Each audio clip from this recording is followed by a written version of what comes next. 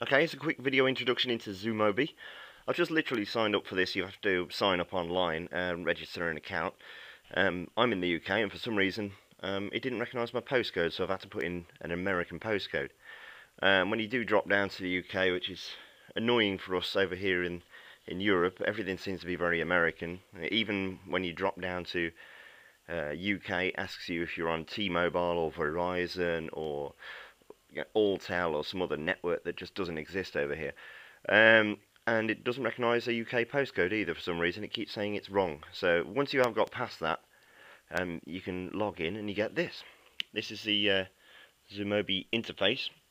And it's relatively easy. If I press 1 on my keyboard, I'll zoom up to the top left.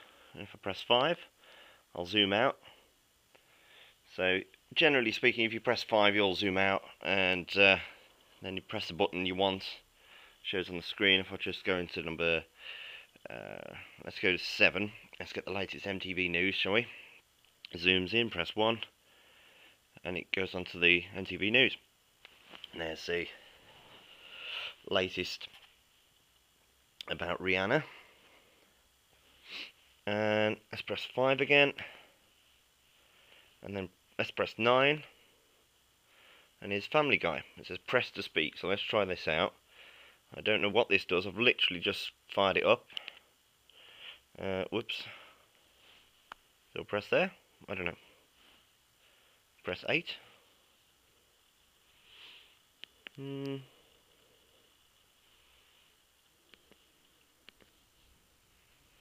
And you can send, I don't know if you can see in the top right there, you can send um, the tile to other Zumobi users, I presume, or select from uh, your list of recipients there. So you can say, check out this cool tile. So it's really a sort of um, an interface into uh, a bunch of websites, basically.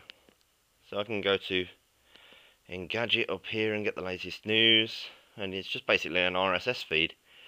Um, you do have to have quite a good data tariff, and it does warn you at the start that if you are roaming, you'll be paying a, a shed load of money.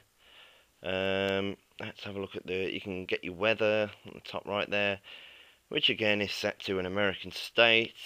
Never mind about the rest of the world. Stock quotes down on the bottom left. You can check your latest quotes. You can edit the stocks there.